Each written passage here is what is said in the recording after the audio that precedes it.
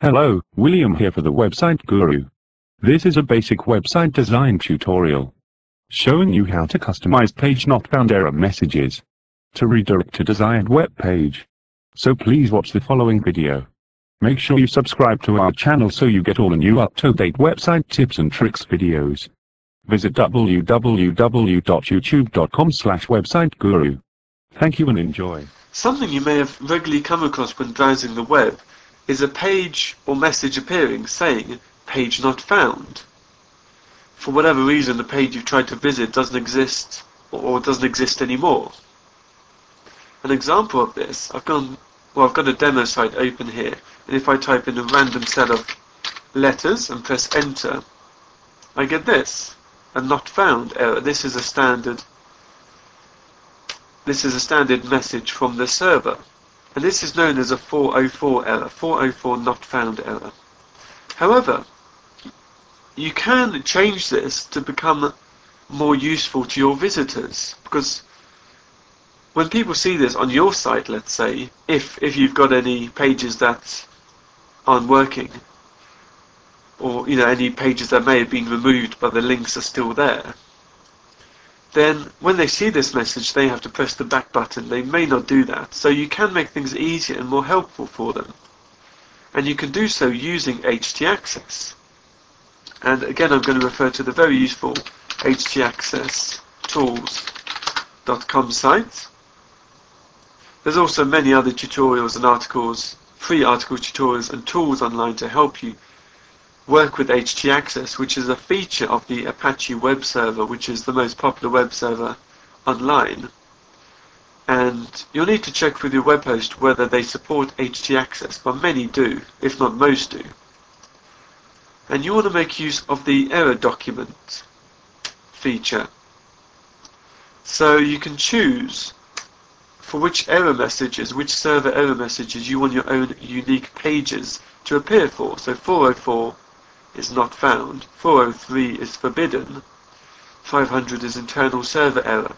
You can just fill in the blanks there easily. But I'm just going to focus on 404 this time because that's the most common one, common error message I would say. So let's say for example, just in this example, if someone tries to access a page and it's not found, I'm going to redirect them to Google. Very simple.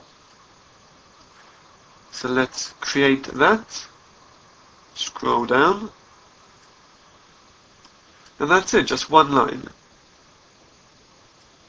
So let me right click and copy that. Minimize the browser. Minimize FTP.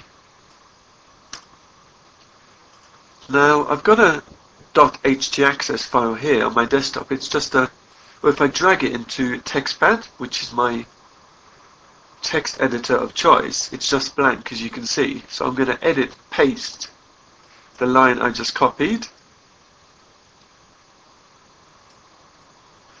Okay, file, save, close, go to FTP, and there's on the right is my demo site, which is just empty of any files on the left is my desktop, I'm going to drag the htaccess file.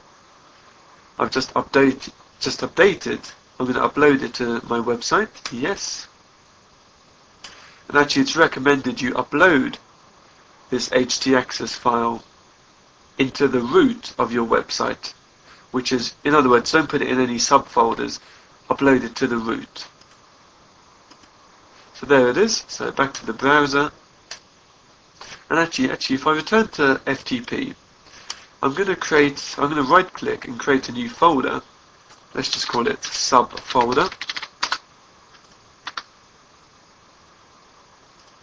Okay, back to the browser. Now if I type in www.demosites1.info slash subfolder, that appears okay. There's nothing there, but it, it appears fine.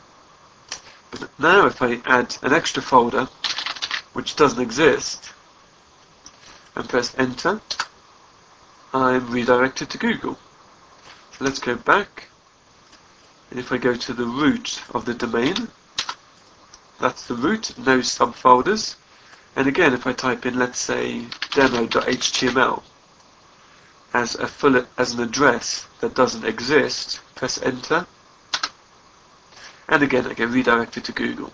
So that's how you can use htaccess to make your 404 page not found error messages much more useful and helpful to your visitors. You can send them to your to a search function on your site, for example, or to a sitemap, or to a page of your choosing.